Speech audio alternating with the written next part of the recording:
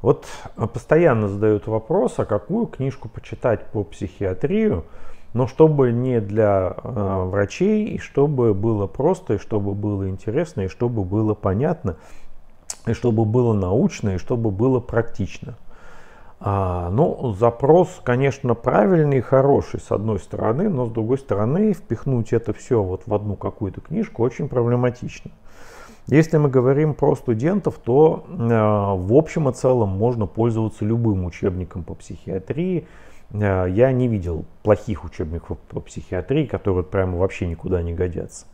Но общая проблема этих учебников в том, что они написаны людьми и такое ощущение для людей, которые уже эту психиатрию знают. Поэтому есть очень высокий риск захлебнуться в обилии терминов симптомов, синдромов, нозологии и т.д. уже на самых первых этапах изучения.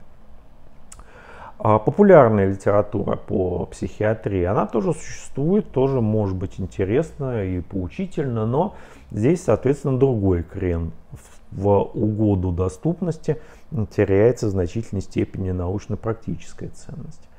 А, поэтому без ложной скромности могу порекомендовать нашу школу психиатрия для всех – который вы можете найти на сайте mednauka.net в разделе «Курсы». Там вы можете получить объем знаний, сопоставимый с курсом психиатрии медицинского вуза. Это раз. А, получить как теоретическую базу, изложенную, ну, на мой взгляд, достаточно простым и понятным языком.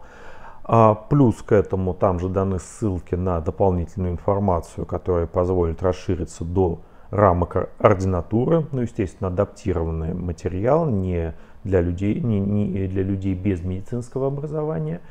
Ну и при необходимости получить обратную связь, задать вопросы мне, а, и я вам на эти вопросы, ну, как смогу, отвечу. Дополнительную информацию вы можете найти на нашем сайте mednauka.net и на нашем канале на портале youtube.com. Всего вам хорошего, до свидания.